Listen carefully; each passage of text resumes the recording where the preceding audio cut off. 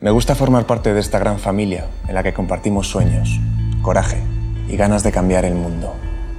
Es un orgullo formar parte de Ayuda en Acción, como él y como más de 150.000 personas desde hace 30 años. ¿Y tú de qué te sientes orgulloso?